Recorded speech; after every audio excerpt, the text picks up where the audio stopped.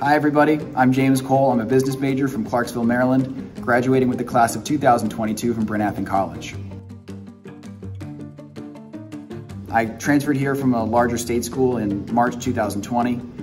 Before Bryn College, I didn't know my own strengths or how to find them, and I can confidently say that after Bryn College, I not only know my strengths, but I'm really looking forward to being able to put them to good use.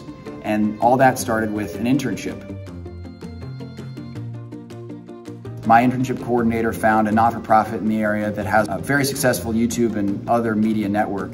And I was a production assistant. I mean, I was organizing the studio, setting up cameras and lights and microphones, and sitting in on production meetings.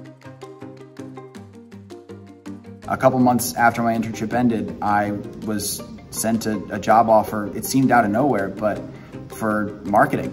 So for the last two years, I've been the digital marketing assistant sending out and collecting data for emails and managing other marketing data. And starting in the summer, as soon as I graduate, I'll be working full time at the same company. And that's a job that I could not have gotten without my internship coordinator and the community at Bryn Athyn College that really wants to see the students succeed. If you're looking for the kind of place where you can rely on one another to advance and to get stuff done and get a job, you know, find a graduate degree that works for you, Bryn Athyn College is a great place for that.